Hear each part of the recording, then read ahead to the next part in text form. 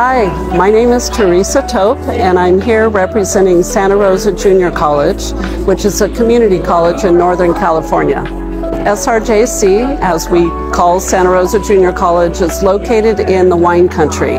So we're about an hour north of San Francisco. We have more than 100 majors on campus housing, which is not common for community colleges. Our campus is also beautiful. It's one of the oldest community colleges in California.